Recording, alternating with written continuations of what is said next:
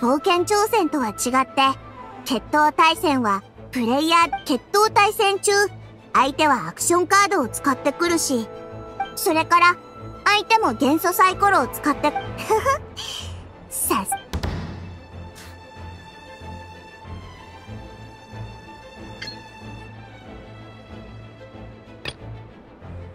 行こうか。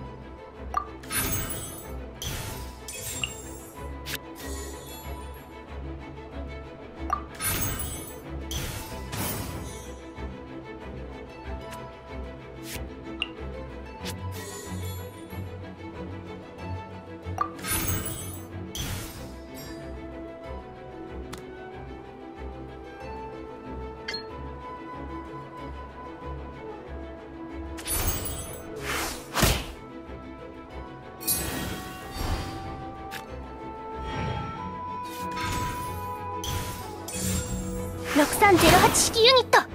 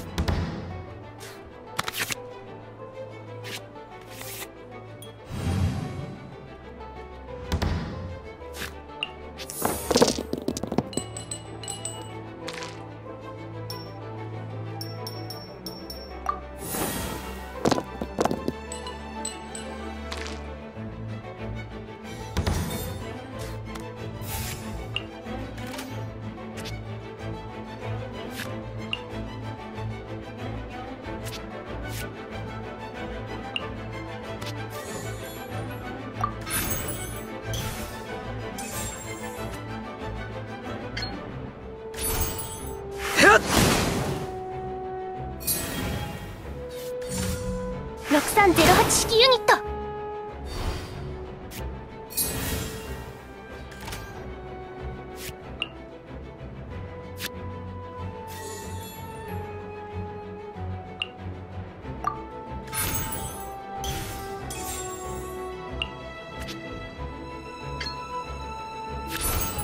吸引テスト開始。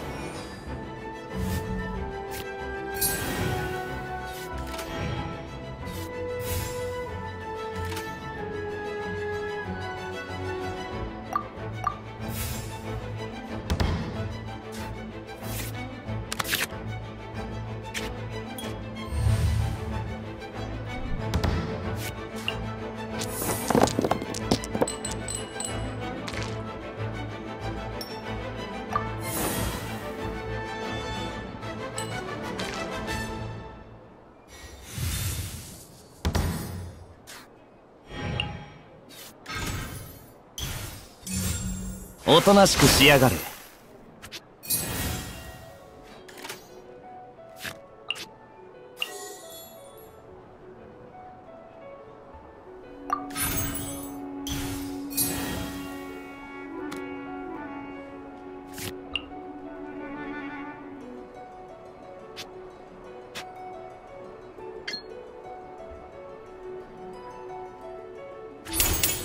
7号式モジュール。そんな予想外の要素が。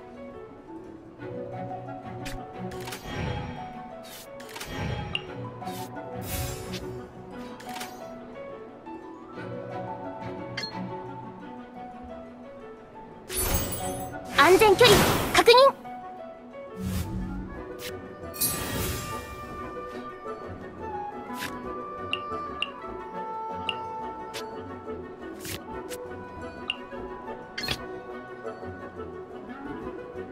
さっさと終わらせるぞ。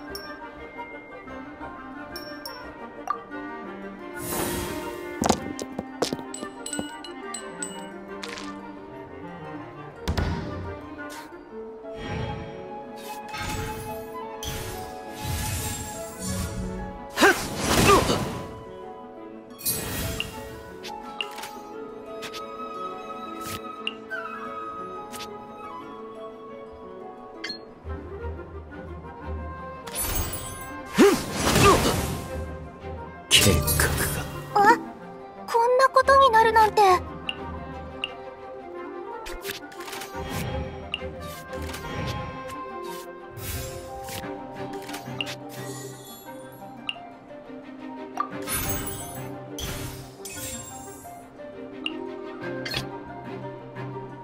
用意はとっくにできてるぜ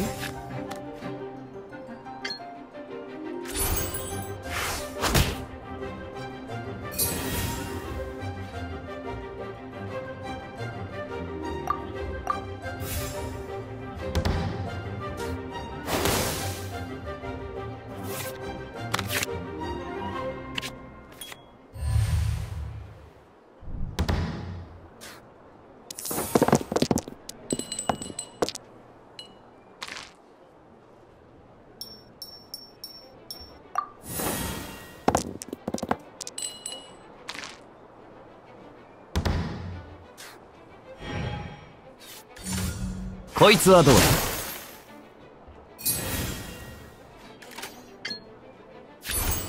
こいつはどうだ？お楽しみはこれから。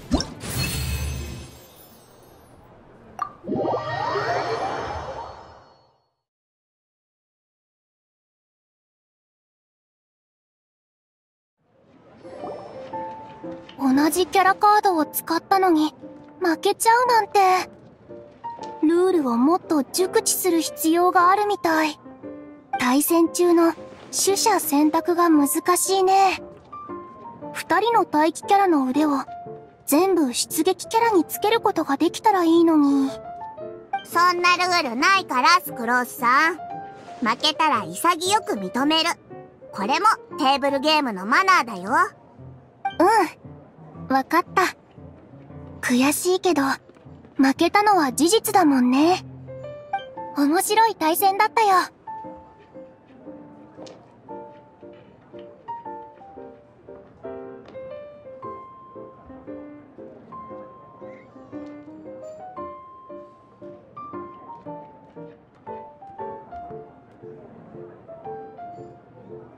スクロースも悔しがったりするんだな。もちろん負けるのは悔しいよ。それに研究の途中実験がうまくいかない時は不安にだってなる。特にアルベド先生のような卓越した錬金術師が隣にいると思うと。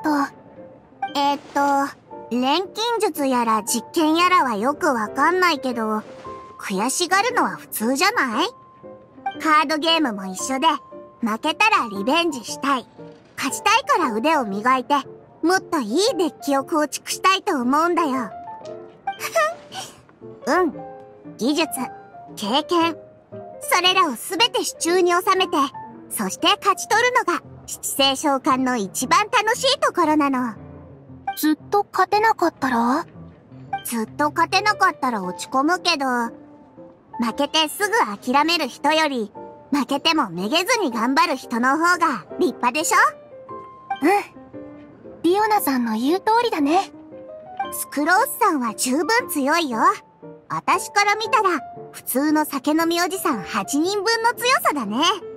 さっきの対戦は、レベルが高かったにゃ。ありがとう。